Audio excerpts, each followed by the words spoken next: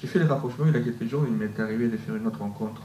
C'est un sujet qui est proche et lointain, mais quoi très proche, sur les portraits des 12 familles, même un peu plus de familles françaises qui ont résisté pendant la Deuxième Guerre mondiale. Il y a quelque chose qui se rapproche, je pense, c'est la dimension dont il parle à Havel, éthique et morale de tous ces gens-là qui, à un moment donné de l'histoire, peu importe l'histoire, ont dit non, on ne peut pas accepter ça. Et je pense que c'est quelque chose qui réunit justement tous ces dissidents-là, et même les gens qui ont résisté en France à un moment donné dans l'histoire. Nicole. Absolument. Je pense qu'il n'y a, pas de question.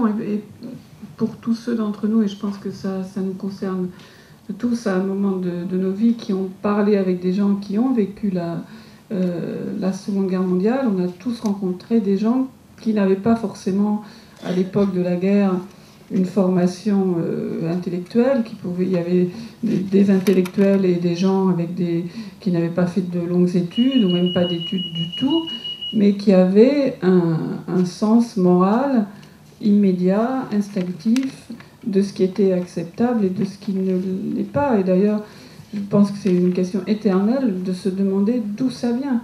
Est-ce que c'est une éducation? Est-ce que c'est d'un tempérament euh, individuel? Est-ce que c'est le, récit de, des sagas familiales? Moi, je, n'ai absolument pas la, clé de ça. Je, trouve que ça s'est trouvé dans tous les milieux sociaux, dans toutes les religions, dans toutes les absences de, euh, de religion, dans, dans, toutes les générations. Il y a eu des gens pour dire non, c'est pas possible. Et ceci dit, après, euh, les actes qui ont suivi ont été héroïques pour certains, moins, moins héroïques pour d'autres, mais il me semble que ça relève de l'instinct immédiat. Alors que, euh, là, moi je parle de l'occupation allemande en France. Mais les résultats sont toujours incertains, c'est ça qui est extraordinaire, parce qu'on ne sait pas si on va gagner, on ne sait pas, et malgré tout, les dangers, et tout ce qui, qui tout ce qui entoure ces gens-là qui, à un moment donné, ils ont perdu leur famille, malgré tout, ils continuent, ils continuent, ils continuent. Mais je pense que tous les récits de gens qui ont, combattu pour la liberté, euh, sous quelque forme que ce soit, à toutes les époques et, sous toutes les latitudes, hein, ce n'est pas une question euh, du tout européenne ou occidentale, s'ils ont eu la chance de pouvoir en faire le récit, ont toujours dit, mais autrement, ça ne valait pas la peine de vivre. Donc c'est des choix évidemment extrêmement, extrêmement difficiles, extrêmement tragiques, mais qui ont l'air euh, de s'être imposés. J'ai pas l'impression qu'il y ait beaucoup de gens qui disaient bon j'y vais, j'y vais pas. Euh, voilà, on n'avait pas le sentiment de ne pas avoir le choix parce que sinon on, ne vivait pas. Et d'ailleurs je trouve que toute la et là André en sait beaucoup plus long que moi là-dessus, mais toute la, la littérature qu'on a reçue par exemple et le cinéma euh, de Tchécoslovaquie ou de l'ancienne Tchécoslovaquie, explorant ce qu'avaient été ces années-là. C'est des années donc euh, derrière le rideau de fer. C'est quelque chose de très déprimant. On a l'impression qu'il y avait une espèce de dépression générale qui pesait sur ces pays parce que n'ayant pas de liberté, n'ayant pas de choix, les gens vivaient vraiment comme avec une petite flamme sur le gaz réduite au maximum. Ils vivotaient, c'est pas une vraie vie.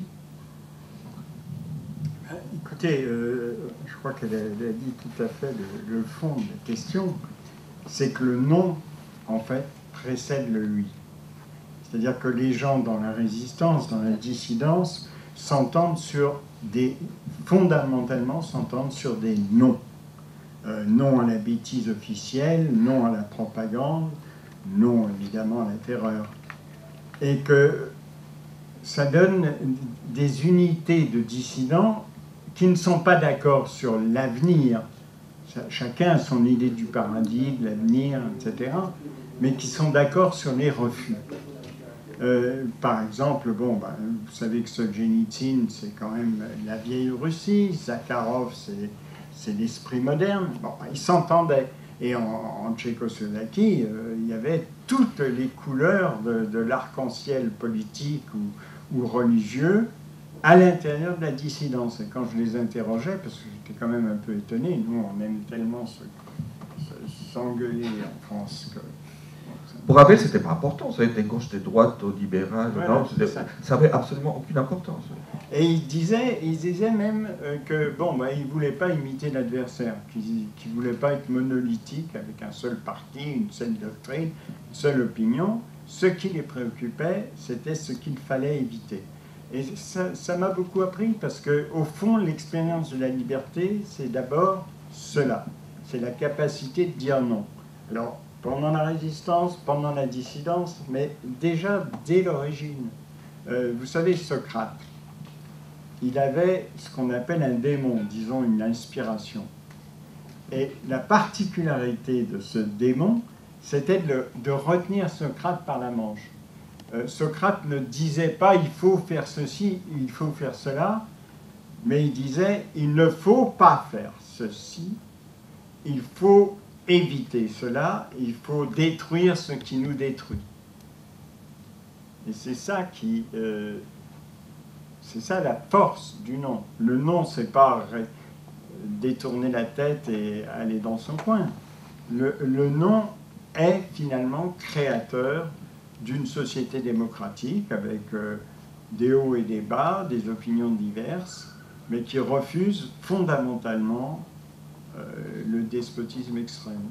Mais en même temps, ce qui est intéressant dans, le livre, et je pense que ce qui réunit, vous réunit tous les trois, et aussi avec les autres personnes, qui n'a pas de déterminisme culturel pour accéder à la liberté. Tous les peuples, tous les pays, toutes les nations, tous les continents peuvent accéder à la liberté sans problème.